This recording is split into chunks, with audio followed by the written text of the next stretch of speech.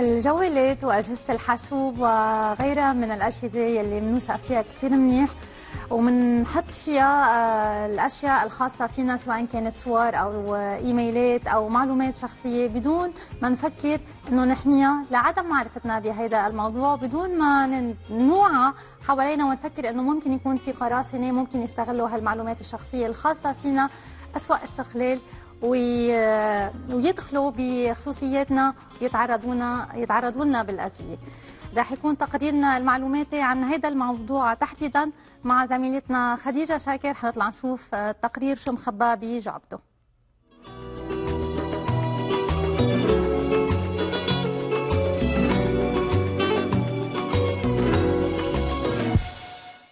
أصدقائي بلغني أن هناك شخص ما يستخدم اسمي وصورتي في منشورات غير لائقة وأنا أعلن براءتي منها.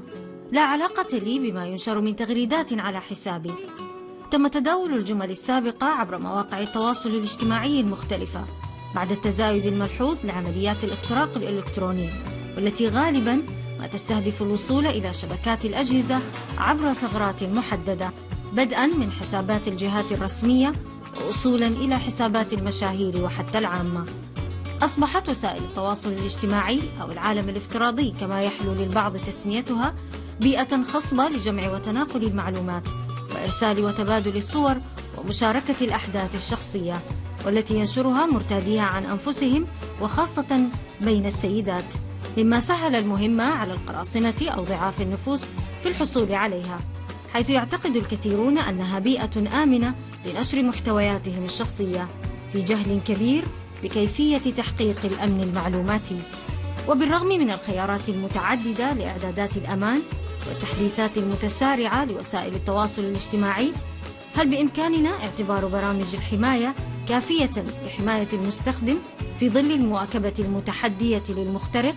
أم قد يكون تعلم أساسيات وأساليب القرصنة الأخلاقية قوة نواجه بها العالم الافتراضي.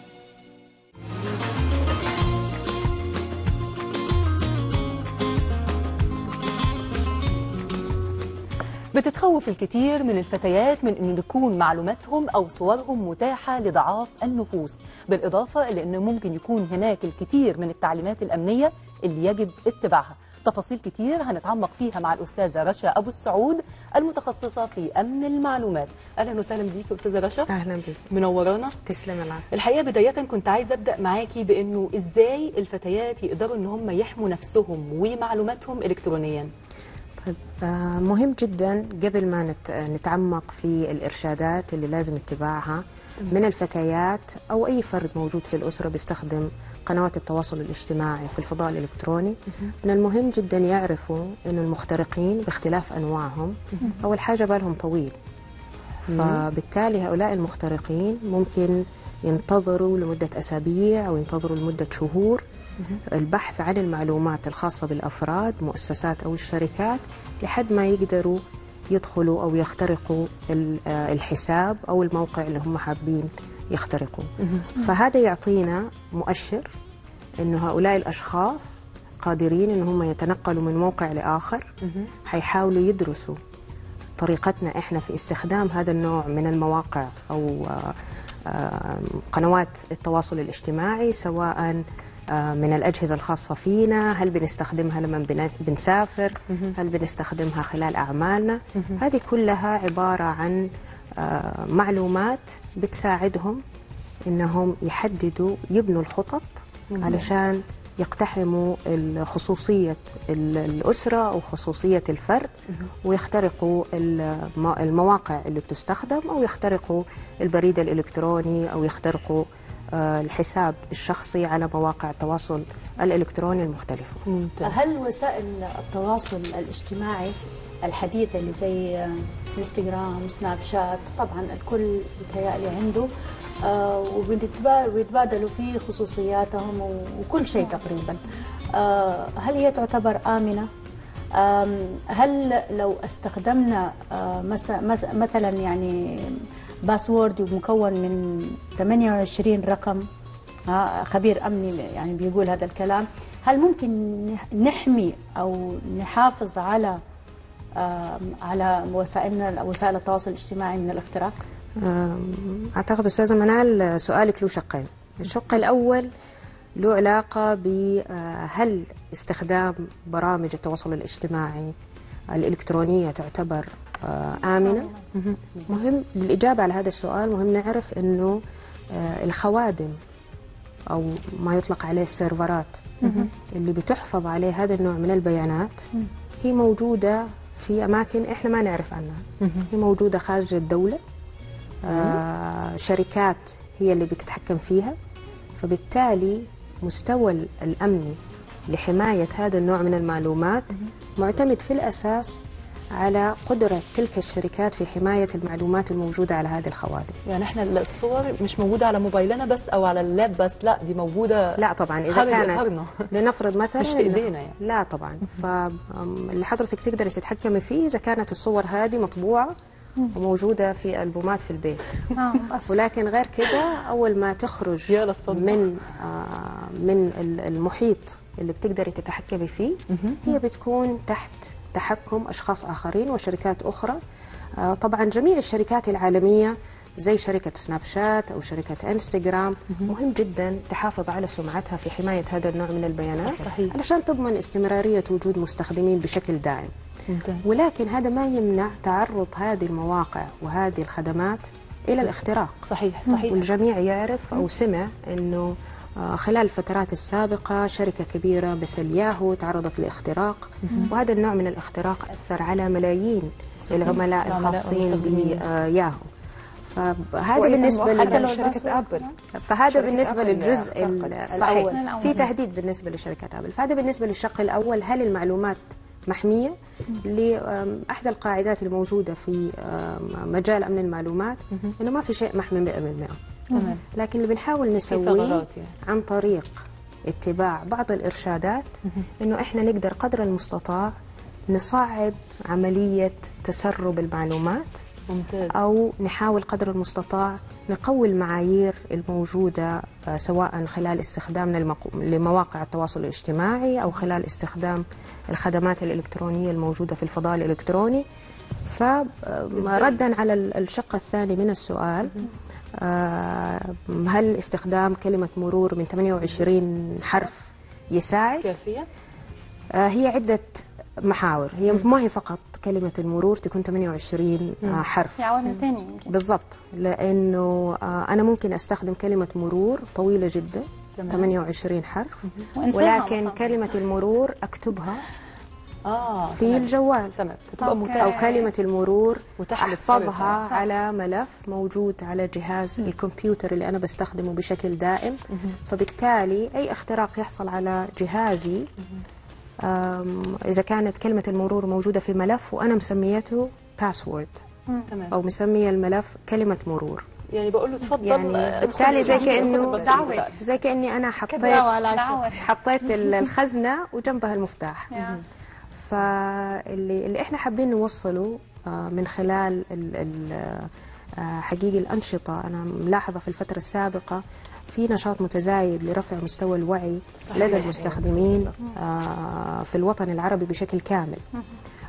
وهذا شيء جميل جدا وشيء مطلوب. ليش؟ لأنه آه، أصبح في تزايد لاستخدام قنوات التواصل الاجتماعي. صحيح. فبالإضافة إلى كلمة المرور اللي هي 28 كلمة مش كل- 28 حرف مش شرط تكون 28 حرف. ممكن تكون كلمة مرور صعبة اللي هي يكون رموز حروف رموز. أرقام. ممتاز. نحرص إنه إحنا ما نستخدم كلمة مرور واحدة في جميع المواقع.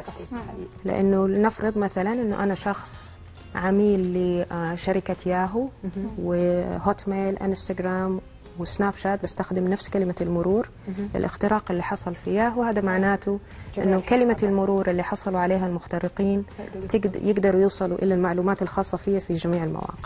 طب أستاذة رشا بحال أنا آه، تعرضت لاختراق لحسابي.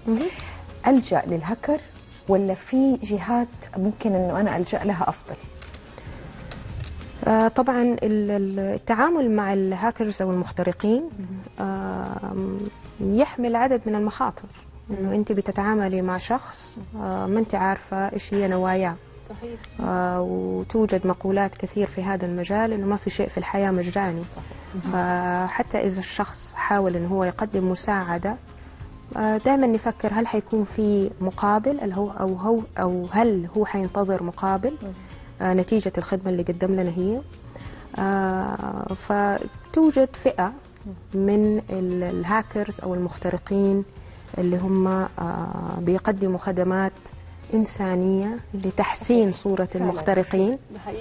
ولكن ال- ال- الأفضل واللي إحنا دائما ننصح فيه آه أي شخص يتعرض لأي عملية آه ابتزاز أو اختراق أو أي نوع من أنواع الجرائم الإلكترونية آه المتعارفه المتعارف عليها.